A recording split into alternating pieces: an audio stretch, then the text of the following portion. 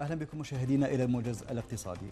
أصدر مجلس الأمن الدولي بالإجماع قرارا أنهى بموجبه رسميا تفويض لجنة الأمم المتحدة الخاصة بالتعويضات عن الأضرار الناجبة عن دخول العراق الكويت عام 1990 بعدما سددت بغداد كامل المبالغ المترتب عليها للكويت وقدرها 52 مليارا و400 مليون دولار.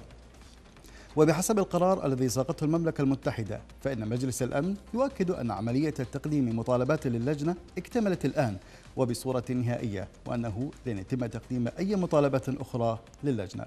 يشار إلى أن اللجنة تأسست في أيار عام 1991 وكانت مسؤولة عن إدارة التعويضات المالية المستحقة على العراق والتي كانت تستقطع 5% من عائدات مبيعات النفط والمنتجات البترولية والغاز الطبيعي.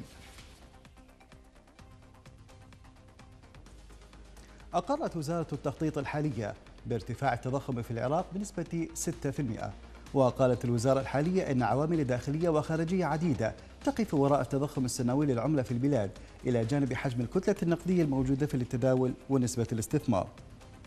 وأضافت وزارة التخطيط الحالية أن العامل الرئيسي لارتفاع وانخفاض التضخم في البلاد مرتبط بحجم الكتلة العملة النقدية الموجودة للتداول والاستثمارات والاستيرادات. أعلن محافظ ذي قار محمد الغزي عن أن أكثر من 600 موظف يعملون في مؤسسات حكومية بالمحافظة يتقاضون أكثر من راتب. وأوضح الغزي أن اللجنة المشكلة للنظر في التقاطع الوظيفي لعقود المشاريع مع الدوائر الحكومية. وجدت أكثر من 600 شخص قابل للزيادة متعينين في مؤسسات حكومية أخرى ويتقاضون راتبا آخر من مؤسسات أخرى.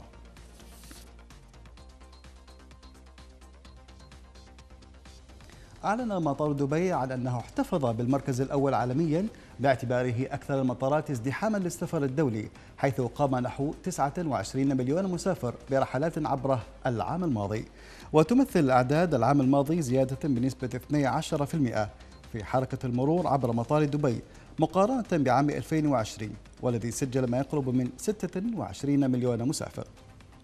ورغم عبور أكثر من 29 مليون مسافر العام الماضي عبر مطار دبي فإن هذا العدد لا يقترب من عدد ما قبل الجائحة البالغ 86 مليون و400 ألف مسافر الذي سجله المطار عام 2019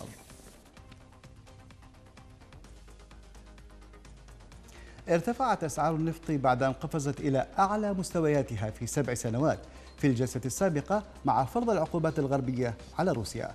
وارتفع خم برنت 25 سنتا إلى 97 دولارا و9 سنتات.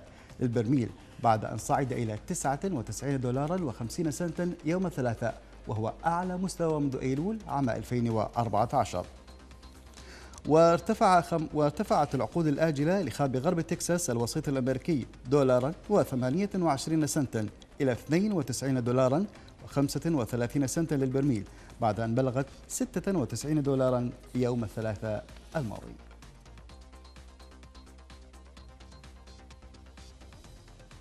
وهذه انتقالة سريعة لأسعار صرف العملات الأجنبية وأسعار المعادن.